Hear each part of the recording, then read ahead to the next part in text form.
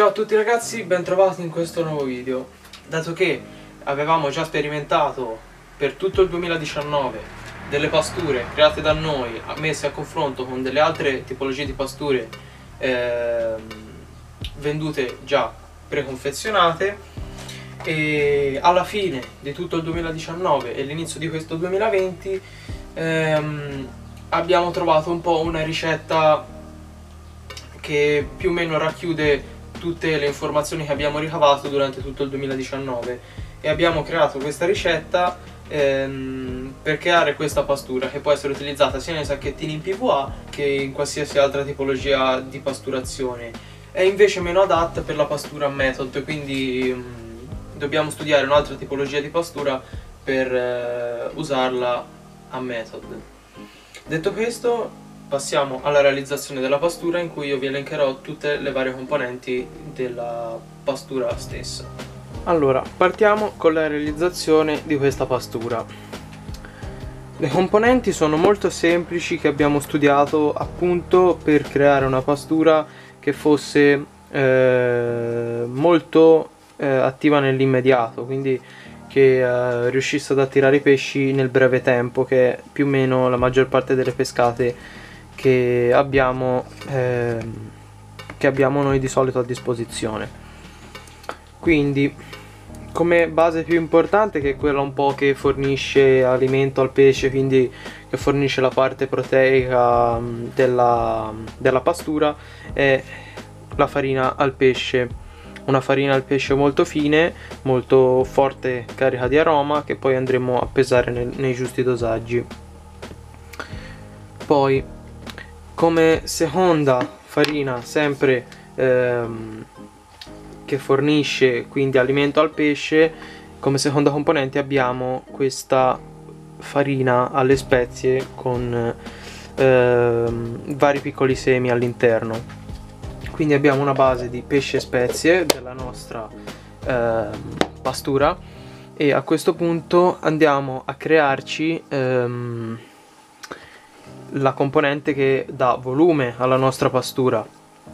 Quindi andiamo ad inserire una percentuale di pan grattato per fornire anche alla pastura una, una granulometria più grossa. Quindi andremo ad inserire una percentuale di pan grattato e andremo anche ad inserire una percentuale di farina di mais o polenta. Questa sempre ehm, di una granulometria media comunque abbastanza grossa per dare volume alla nostra pastura.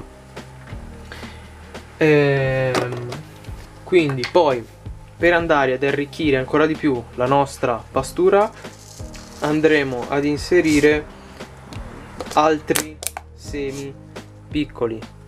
Quindi una tipologia di semi di questa tipologia ehm, molto fini che non vanno a, ad intaccare la, la solidità, la compattezza della nostra pastura.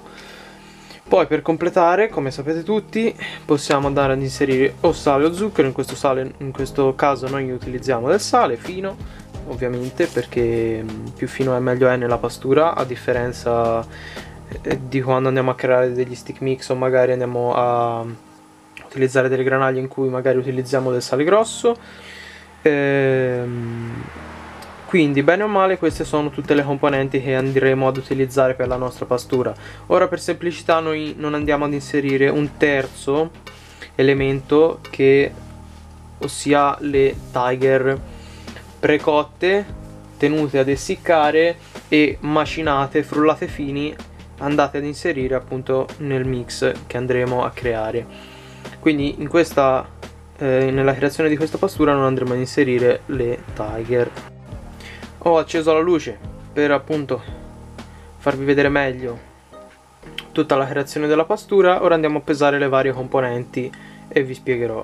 Andiamo a prendere la bilancia la accendiamo mettiamo su il nostro contenitore facciamo la tara e andiamo ad inserire la prima componente che è la farina di pesce.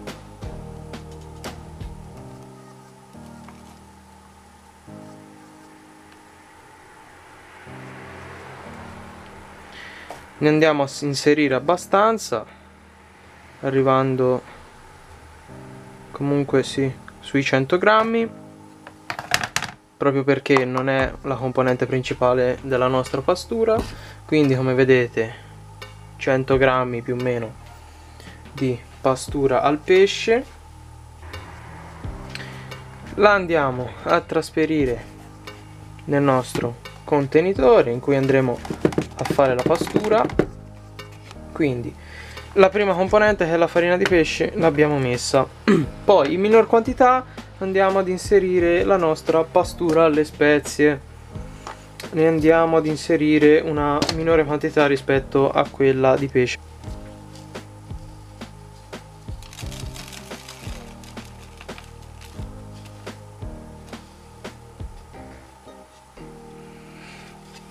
Di solito noi ne andiamo ad inserire un 25-30 grammi per ehm, proprio perché eh, c'è grande presenza di semi a questo punto la prendiamo e la inseriamo sempre all'interno del nostro mix.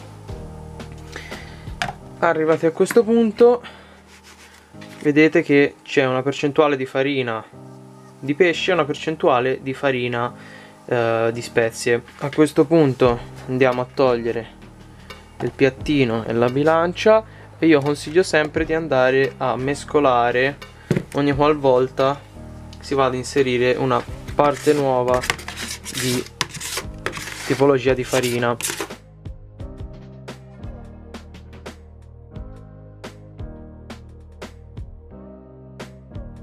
Quindi la prima parte del mix è completata. Ora noi di solito creiamo poca pastura per volta quindi un um, 200 300 mm, anche di più andiamo a creare un circa mezzo chilo di pastura. Rimettiamo da parte il nostro secchio con la prima parte di pastura.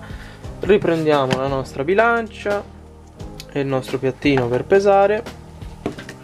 A questo punto andiamo ad inserire la componente principale del della pastura in sé per sé, ovvero la farina di mais o polenta. Ehm, ne andiamo a mettere un circa 200 grammi. Quindi ora abbiamo anche esagerato, 210 ma va bene comunque. Con la pastura si può anche leggermente mm, sforare con le dosi quindi abbiamo i nostri circa 200 grammi di ehm, polenta a questo punto andiamo anche questa a metterla dentro il secchio dove andiamo a mischiare la pastura. E come ho detto prima andiamo a mischiare il tutto.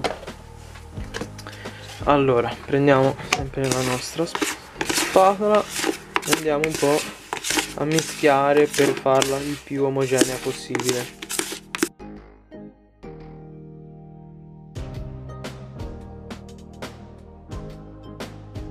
Ecco a questo punto che la nostra prima parte è completata mischiata perfettamente andiamo a procedere ad inserire le altre parti. Quindi riprendiamo la, so la nostra solita bilancia. Mettiamo il piattino. A questo punto andiamo ad inserire il pan grattato abbiamo fatto già circa un 350 grammi meglio 325 grammi di pastura. Andiamo ad inserire 75 grammi di pan grattato sempre in minor dose perché comunque il pan grattato è mm, una, una componente di granulometria abbastanza grossa. Quindi andiamo a inserire 75 grammi. Ok. Quindi 75 grammi di pan grattato ce li abbiamo e li andiamo ad inserire dentro la pastura. A questo punto la parte in cui dovremo inserire le farine le dovremo pesare è completata.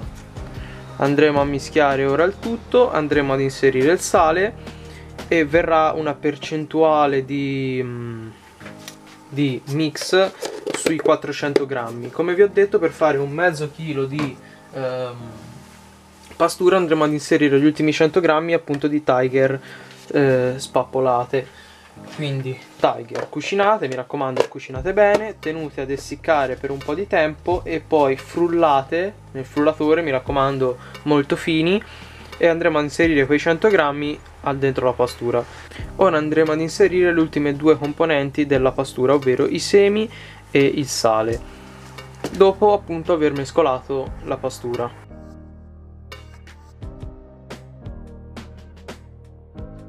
Ok a questo punto abbiamo mischiato per bene la nostra pastura.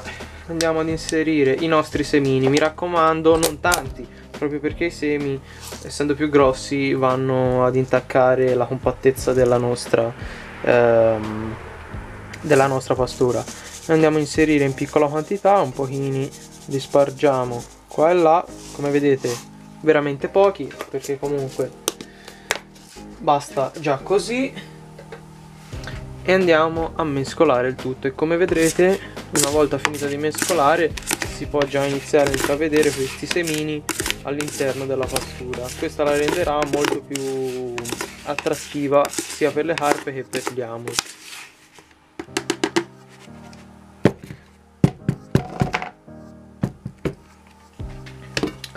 allora a questo punto basterà andare ad inserire il sale il sale noi di solito andiamo a prendere questo misurino e ne inseriamo veramente poco proprio perché ehm, è già una pastura adatta di suo, proprio perché il sale in una pastura secca come vedete non andrebbe a sciogliersi.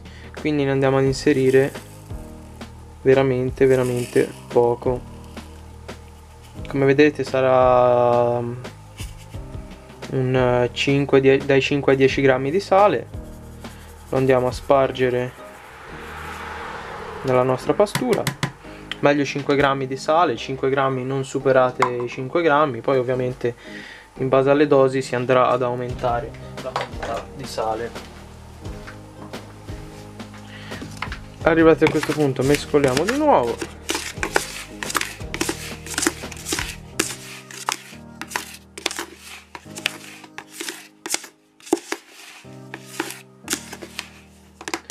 Poi ovviamente più la mescolate più verrà meglio. Poche parole, questa è la nostra farina completata, la nostra pastura completata. Ne abbiamo fatti 400 grammi. Ovviamente come potete capire, piuttosto che andare a comprare la, la pastura già pronta, si, si può creare con eh, molta meno roba. E è una pastura che abbiamo già testato nel 2019. Noi ovviamente durante quest'anno e negli anni successivi miglioreremo sempre di più e cercheremo di, cercheremo di farla sempre meglio. In poche parole questa è la pastura se la volete riprovare a fare a casa e magari più avanti provarla in pesca fateci sapere e mi raccomando andateci a seguire sul nostro profilo ufficiale quindi su Instagram team underscore mugello underscore carpfishing dove noi pubblicheremo eh, le varie storie nei giorni successivi con le date relative dei video e delle live che usciranno sul canale. Detto questo io spero che il video vi sia piaciuto, mi raccomando lasciate like, iscrivetevi al canale e ci vediamo ad un prossimo video.